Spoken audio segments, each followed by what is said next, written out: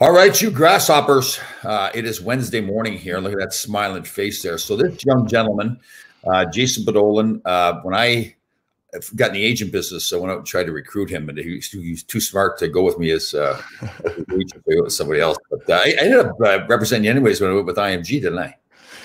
Well, not I was with Mike. I was with uh, JP Barry actually yeah, when, when Mike right. Barnett switched. So yeah, I got switched to JP. But yeah, that's an interesting discussion all yeah. itself. Yeah.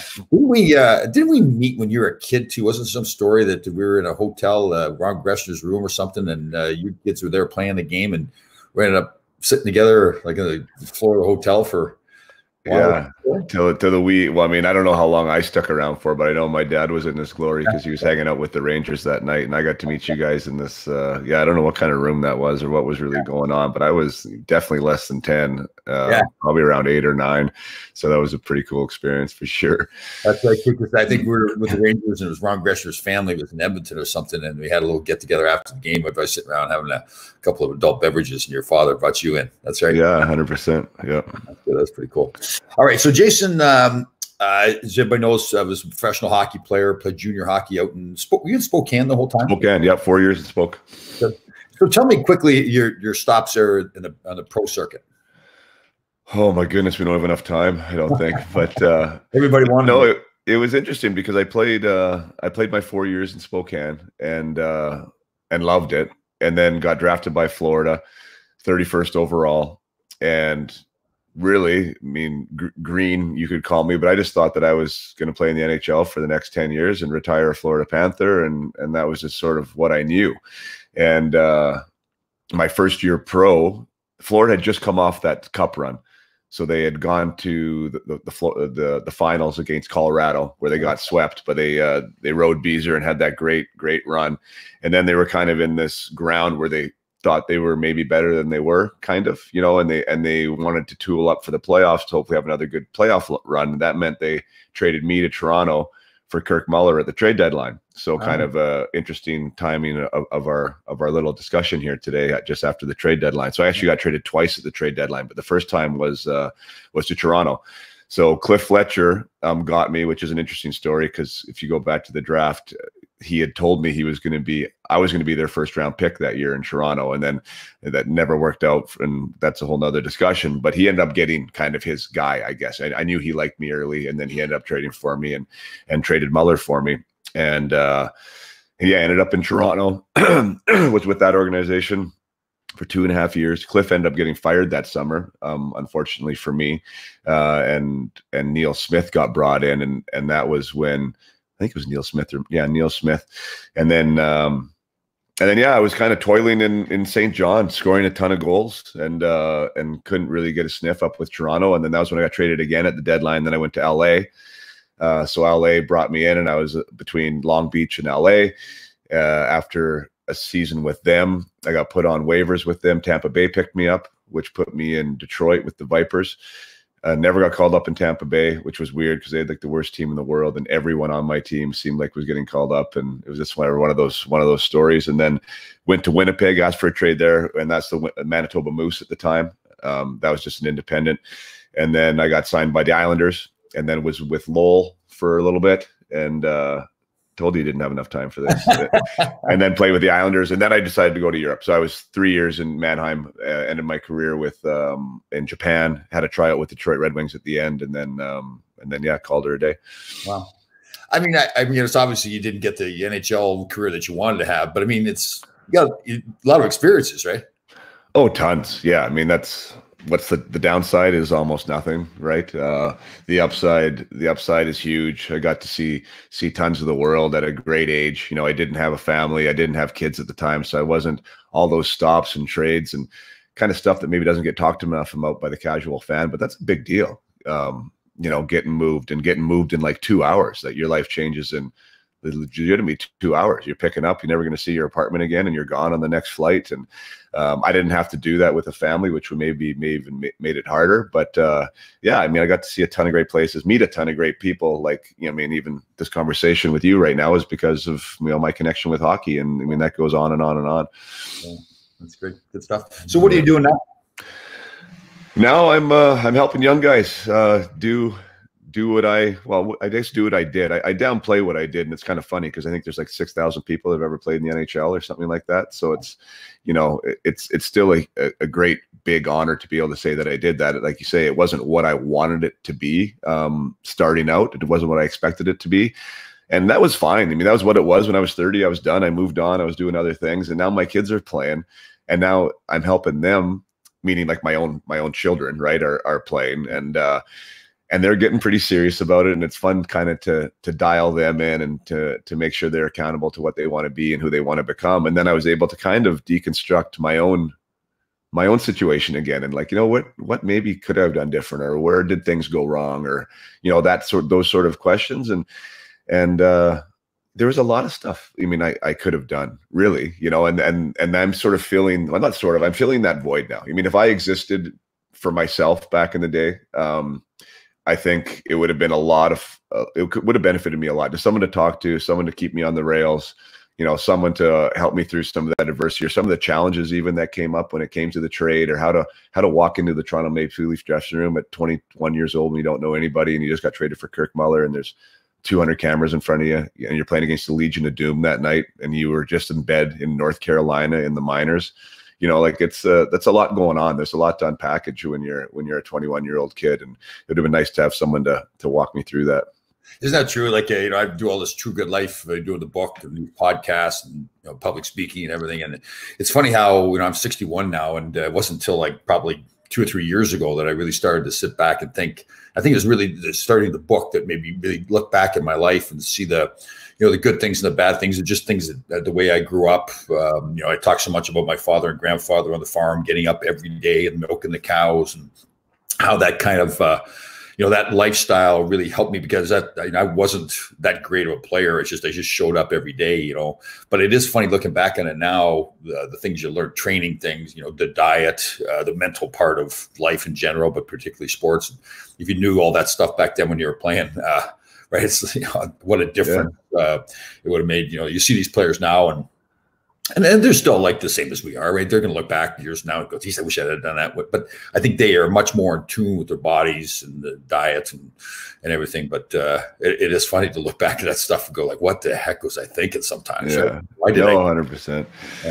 We, we found we found our niche I think for what worked well but at least for me you know I, I felt uh, I felt that I had kind of my own physical uh, performance sort of dialed in and, and the best we could back then. But then when it came to, you know, when it when it came to mentorship or asking questions or you know something to do with emotion emotional uh, welfare or, i mean those types of things were just not talked about at all right yeah. and and then you were just sort of left to to do whatever it is you thought you were supposed to do and sometimes that's not the best way and I, I think the kids now these days are even more um, adverse to the adversity or more susceptible, I should say, to the adversity, just because it's been so dialed in, right? For, for the guys growing up now, like everything's been planned out and you're going to be here and you're supposed to be there and, and, and you have your strength coach and you have your nutritionist and you have all these things. And when something kind of goes sideways or something comes off the rails, it's, you know, it's the big eyes and you know, now what? This wasn't supposed to happen. So you think it's worse now? Like, do you think more? And I, you're probably right. I think back to myself. Like I was at like a I, I, compare it sometimes to a mutter, like a, a horse that you know runs in the mud better than he does get track, right? So I was more used to things not being perfect for me. I never had any expectation of being perfect. It was just you know just keep grinding it out. So you think it's harder on kids now because they more have that kind of perfect life all set out for them. I think so. I think parents are more apt to try and solve problems for the kids growing up right. now. I think that they're stepping in and dealing with the adversity. I think that I, I think a lot of these things are yeah, I just don't think adversity is something that parents think is even good anymore. It, you know, for the most part, obviously there's exceptions to the rule, and and so I think that it's a very sheltered kind of existence. And then when you do get on your own and you're pro and and you're there is some things that you have to tackle, and now you're left, you know, being an individual in a scenario where where it's getting a little bit bumpy. I, I, think that there's there's some guys that that are having a harder time with it, and which is fine. I mean, it's neither here nor there. But that's why guys like me exist, or that's why agents are now filling a different role too. Sometimes, right? Like there's more there's more assets for people um, to get through some of this stuff.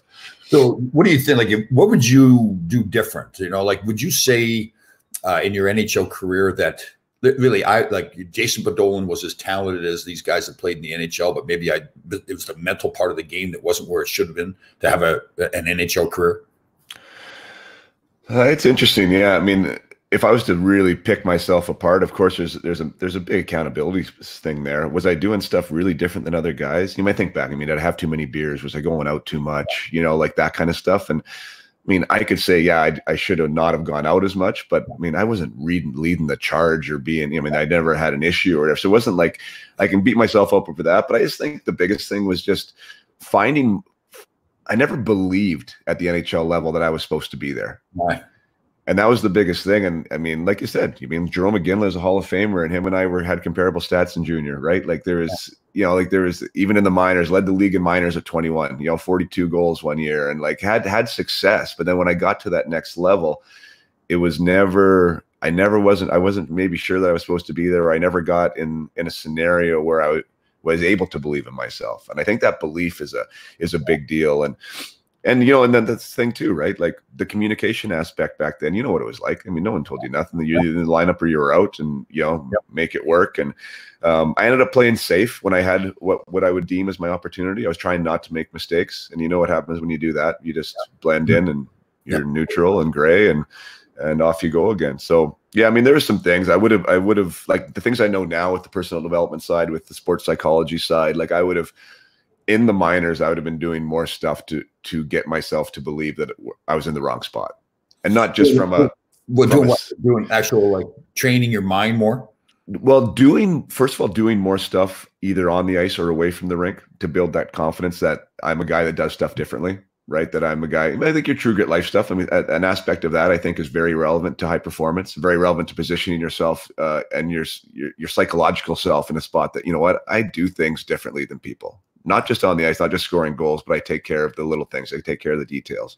Yeah. So I think there would have been a way to uh, to grow that confidence, and also from a from a thought process, from from a from a visualization standpoint, from a from a mental conditioning standpoint, um, to really live in an NHL jersey, and you can do that before you get there. Uh, there's definitely ways to do that, and uh, and I wasn't. I was a guy that segregated myself. Right when I was in the minors, I wasn't watching the box scores. I wasn't knowing who was hurt, and and I don't. I'm right or wrong. That was just the way I dealt with where I was at. You know, I just sort of felt okay. This is where I am. I'm not saying I would have gone back and I would have now dissected every move Toronto was making or whatever, but I would have done a lot more work on my mental side of wh- where it is and what it's going to be like when I get there too you know how I'm going to. I agree. I agree with that a lot. I think you get kind of give yourself a license to be more confident, right? Because you've done more work, whether it's the, the physical part of the game or the mental part of the game. And everybody's different. You know, I mean, some guys come into the game almost being arrogant and cocky, believing that yeah. no, absolutely I belong, right? Uh, and that's fine. You kind of need that that cockiness to to make it. And other people, maybe like yourself, more is maybe not believing in yourself as much. And if that's the case, then fine, then you work on. I view it the same way that you know, if you're not uh, strong enough in your upper body, well, you go in the gym and you work out. So if you're not strong enough in your mind, go and work out at that, and you could you can yeah. accomplish the same thing. So I, I agree 100. percent yeah, no, and it's interesting, and you try and because hockey was very much a, a fit-in sport. You yeah, know, like uh, more so now you're allowing the individual to stand out a little bit, but it was you know it was a melting pot I found for sure, and so like to be cocky or to come across that way. And I think some guys actually perceive me that way, but I definitely wasn't. You know, yeah. like I I just want to be one of the guys. That was really like my biggest thing was to be one of the guys and fit in and and find my way within that. But yeah, there's there's I believe there's a way to to have an inner quiet confidence that uh, maybe doesn't you know doesn't come out on the outside but you, know you're in the right spot and you know you're supposed to be there yeah and like you said too it's uh, you know that desire to fit in right i mean like hockey guys you're still the same way as they talk the same way, dress the same way, you know, drive the same kind of cars, all that kind of stuff. And, you know, sometimes you're going to have to be that, um, you go it alone. I've talked about a lot with True Grit Life that, you know, to, to be successful, to reach the top, the pinnacle, or wherever, you know, the, the highest point that you can get for yourself. I mean, sometimes you are going to have to go it alone, and it, it, you're not just going to have to, you know, do what everybody else is doing. And even in that team structure, you still want to be that team player uh, but you still got to do what is right for Jason Podollan or Tom Laidlaw, whoever it is. I mean, yeah. I was you know for, so fortunate to play with so many great players, you know, Phil Esposito and Wayne Gretzky and Larry Robinson, those guys, and fantastic team players. But they also knew that okay, they needed to take care of their business. Their job, in Phil's case and Wayne's case, was to score points. So they needed to do that. They, they, they would step out and do like Wayne Gretzky was famous for standing on the ice for three or four minutes. Everybody else is out for 45 seconds. And that wasn't him being a bad teammate. He just felt like, okay, that's I'm I need to help my team. I'm on a roll here. you know, I need to do what's right. Not, I'm gonna, I'm not gonna play like Tom Laidlaw plays. I need to play like Wayne Gretzky plays, right? And that's right. that strength that you have to have to to reach that top level. So. Yeah, and I think, and and the more you read, right, and the more you get into autobiographies and people who are great at, at anything, it's yeah. it's usually they aren't they aren't doing things the same as everybody else. Um, yeah, you know what I mean? Like the, like all these guys, and that's the guys when I work with junior now, and even let's say you got a midget AAA guy or a bantam AAA guy, and they're going and they're going, oh yeah, you know, like well, I practice twice a week, and I got my, you know, we got our workouts, and and I'm like, well, what else are you doing? Well, I, I mean, so you're doing the same thing every other 15 year old is you know, and you think that's going to get you to the, the, the next level, right? And it's and maybe it's not doing 15 extra workouts, but I mean, you got to think different, right? Like you you got to do a little more, and you got to think that you're a guy that's going to do a little more, and that's not only is it going to help, but it's also going to help you believe that you're going the right spot. I, I agree. You know, I've talked I, I said kind of jokingly, but it's the truth. You know, Wayne Gretzky and I really had just one thing in common, right? We both had a dream and we both accomplished the dream. The difference was that my dream was to play in the NHL. His dream was to be the best player that ever played in the NHL.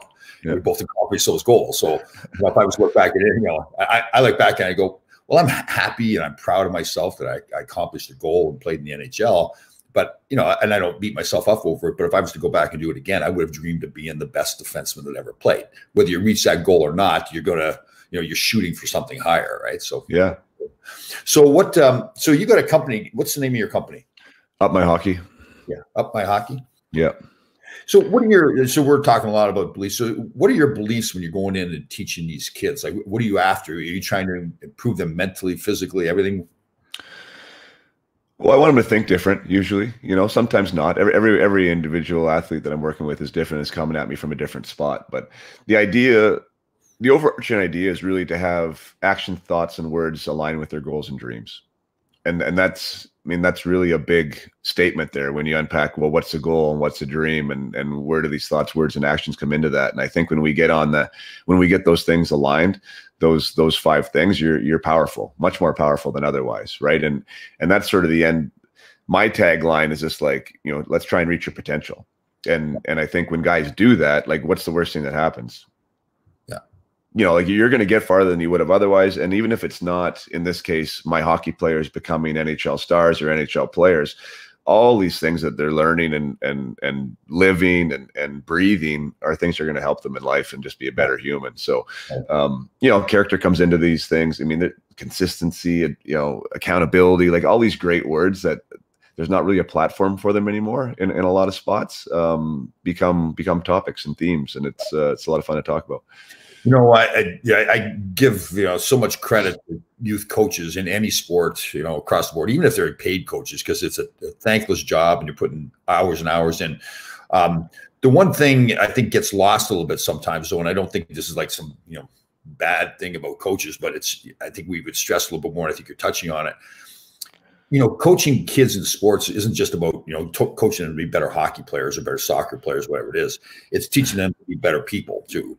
And I think the two of them go hand in hand. If you want that person, that young man or, or, or girl or boy uh, to be a better hockey player, you're teaching them how to be better people too, right? You're teaching them things that, okay, you can't do something right now. Like you can't, like as a backwards as a defenseman, maybe you're not a good enough backward skater right now. But if you go work at that, you can become a better backward skater. And that's the same thing in life, where you can. It's kind of teaching them that okay, don't be afraid to say that you fail at something. Now it doesn't mean you're always going to fail at it. Go to work and become better at it. And I think that's one of the great things you can get from, from yeah. sports. Yeah, hundred percent. I mean, I actually have a, I have a you know a presentation that I do on that w- with coaches and and for people, and that's you know and I, I think I think sports sports is if people talk about sport, sports providing character or growing character you know it, it, almost like it's it's a synonymous type thing. And and i kind of disagree with that. I think sports teaches character if you want sports to teach character. Yeah, totally. um and and and i think when when i with my i mean i'm talking when i'm coaching now like my actual hockey team um i do the same thing with my clients but it's not about winning. It's about it's character is the first thing that I'm talking about all the time, and different aspects of it, whether it be you know whether it be consistency or whether it being a good teammate or whether it being uh, how you compete you know like these aspects of of what makes us up will then make us a better hockey player and when we focus on those aspects first and that's the theming and that's what you're talking about and that's the, what you're driving home it's not It's not about making a tape to tape pass or what the breakout looks like, right? It's like these other things that are going to allow them to be better hockey players, better people, better teammates, um, and thrive more, right? So yeah, I'm I'm 100% like. Of course, you guys like to win. I mean, I love to win. I've always loved to win. I'm a super competitive guy, but um, when you put the winning first, I think the person gets lost, and that's one thing that we've been talking about a lot. Is like uh, and becoming more mainstream. I, mean, I just interviewed Dusty Imoo for my own podcast. Uh, he's a uh, NHL developmental goaltending coach, and he was echoing what Travis Green was saying at the NHL coaches conference, and it's what I say in my philosophy, and it's about coaching coaching the person and not the player. Right. Um, move the person what? first. And, and you touched on the winning part too, and and I actually think it's important to coach to win, but it's it's the process that goes into winning that's important, right? It's like right.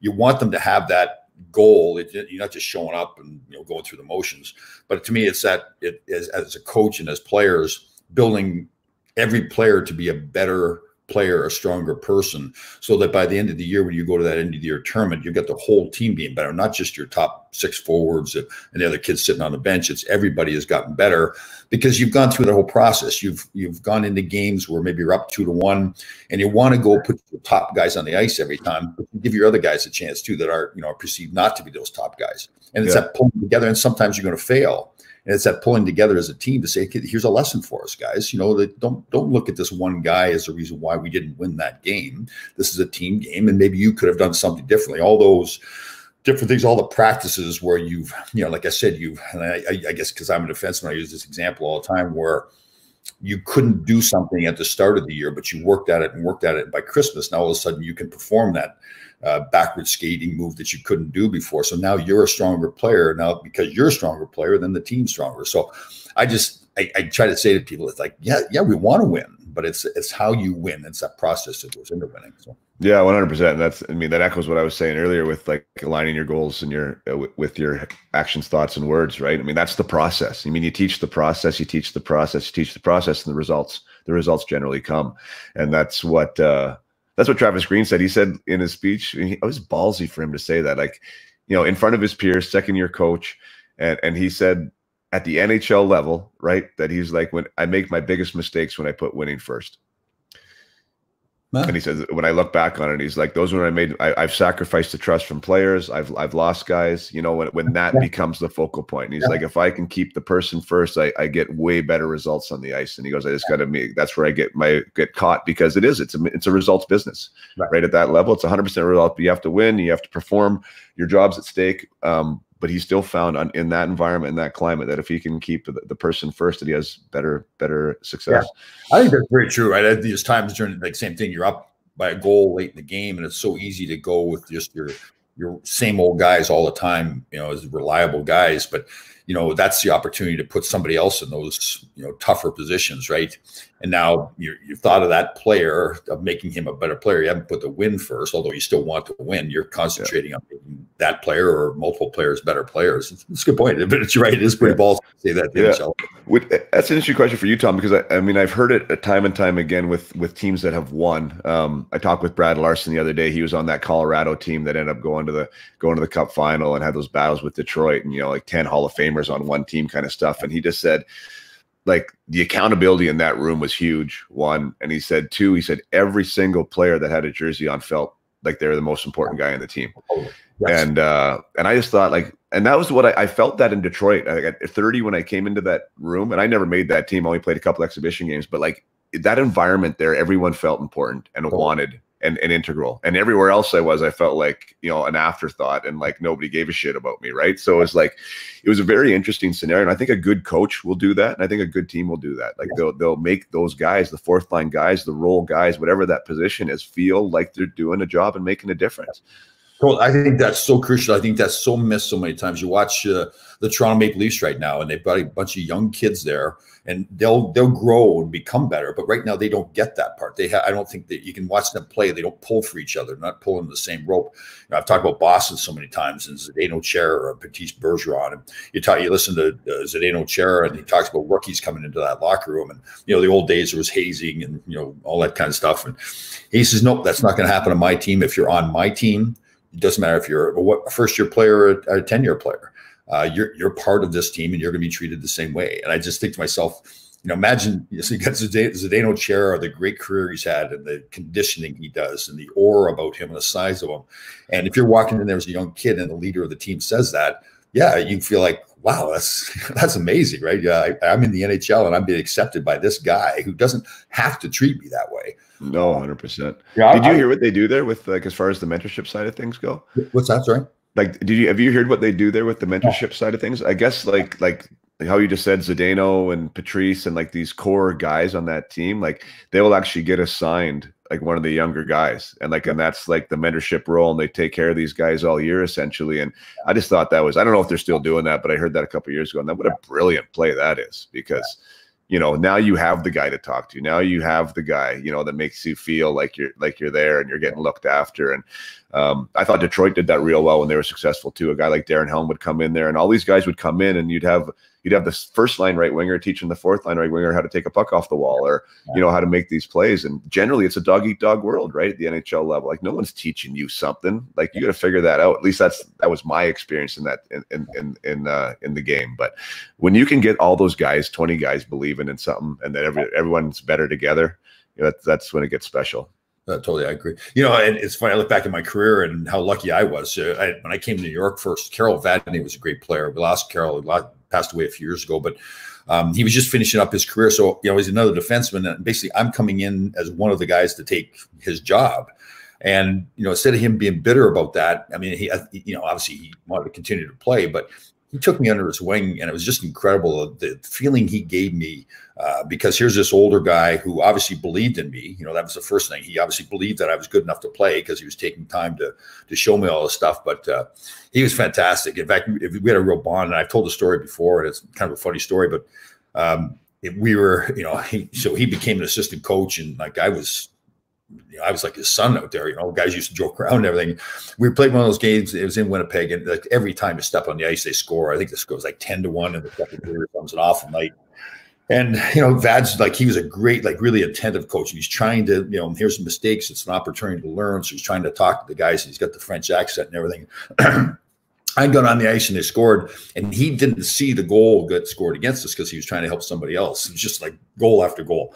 So uh, I come back to the bench and he goes, "Tommy, what happened with that goal?" And I go, "The puck went in the effing net."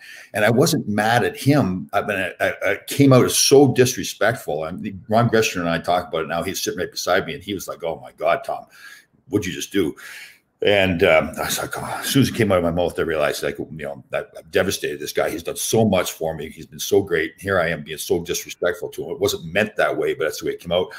I went to him after the game to apologize, and he was in tears. I'd, I'd hurt him so bad, you know. And uh, it, was it was an awful story in one way at the moment, it, but the end it worked out to be good. And then I I expressed to him how much he'd done for me, how much he meant to me.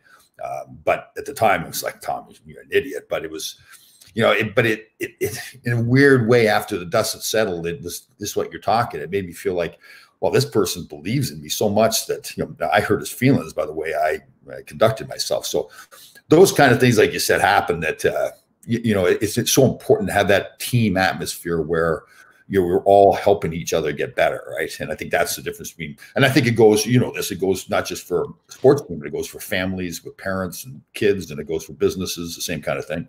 Yeah and it's it, it, i think it's counterintuitive to to most of us right like that yeah. helping somebody yeah. focusing on that is going to now somehow help me right yes. which at the end of the day we're kind of worried about i and it and it's so true and that's why I don't know. Some guys get it. I think naturally, like anything else, have an aptitude for it, and some guys don't. And I think the some guys that don't, I, it's definitely something that can be learned and understood, but it needs to be talked about, right? Yeah. And it needs to be uh, again and again and again, right?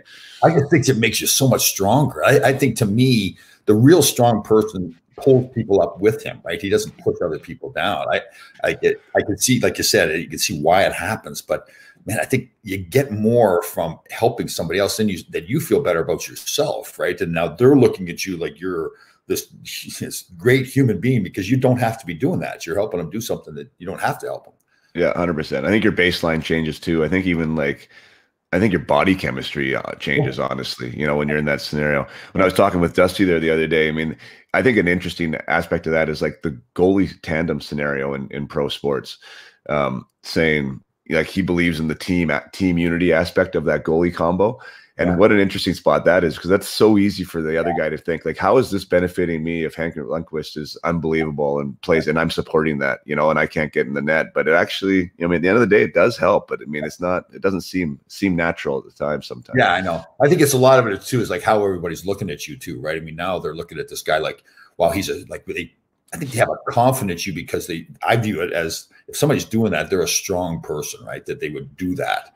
You know, they- again, you know, they should be doing the opposite, right? They should be trying to do that. I've heard other goalies talk at the NHL level too, where they even try to throw the, you know, the, their own goaltender will be going into a game and they're trying to do something to aggravate him in the locker room. And saying that I'm going, like, it just doesn't make any sense. That, I look at that as like an insecurity, right? You're not as strong as you know Yeah. yourself uh, that you do that kind of stuff. But uh, so, um, so you're coaching your own kids team, and you go out and you coach other kids as well. Yeah, I got three of my own boys that are on three different teams. I'm head coaching the oldest one, um, which, like you said, I mean that's that's an unpaid position here in Vernon, and it's uh, you know it's a pretty big job to do it uh, at that level. And then yeah, and then I got clients um, from around North America, and uh, yeah, just helping helping kids align with their dreams and get where they want to get to. And I say kids, I mean kids meaning younger than me, right? But uh, in in the amateur aspect, and uh, and and looking towards working with either you know a junior team full time or or somebody you know I got enough context in the NHL too. I think that this this scenario like the that that bridge between the sports psychologist and the coach you know like that that person that's been there the person that's approachable. It's not like you have to have a problem you know to to talk to to talk to somebody like me but it's like just somebody to talk to period. You know someone that's unbiased that has your best interest at heart period uh, and someone that has maybe some tools and resources to help you get to, to next level out of yourself. And where can people find you? that's a good question. I'm on uh i'm on instagram at jason podollan uh, my website's upmyhockey.com i got a parent group that's private where i help parents of young athletes you know help help mentor their own kids you know in an area that maybe they're unfamiliar with and that's at up that's also up my hockey so it's up my hockey's easiest way or in my name jason podollan Good deal. Good. Well, great to talk to you again. It's funny, right? They look back at the history where you had going way back to your kid there sitting on the hotel room floor, and then uh, dealing with each other too, and uh, when you're junior and all that stuff. So it's great to see you're doing so well. How's your father doing? Oh, he's doing good. Yeah, he's still running the hotels and doing doing his thing, and he- and he's he's busy, and you know we're busy. We live in the same town and never see each other. It's crazy, right? It's just uh, just the way it goes. Oh, you know what? I just thought though, the Up My Hockey podcast, which hopefully you're going to be a guest on here one of these days. So yeah, I just started that this year. Got eight eight episodes, and it's all talking with ex ex pro guys or guys that are in you know agents now or or s- somehow facilitating guys being great or have their own story, and it's kind of. uh yeah, it's a podcast about about the process, essentially. You know, about the So journey. About your, your website is up my hockey. The podcast is up my hockey. yeah, up my hockey podcast. You can find anywhere. That would be uh, that's what I'm focusing on right now. It's just fun. The interviews are great. It provides a lot of value for people. Um, you know, and it's uh, it's something that I enjoy. So yeah, if, uh, if people want to listen to that and download that, really proud of the episodes, and uh, they got some good stuff on there. Excellent. Well, great to talk to you. All right, guys, that's great. Uh, Jason Podollan, he's been around the world playing hockey. Now he's helping other kids. So upmyhockey.com. Thanks, Jason. Awesome. Thanks, Tom. Thanks for having me.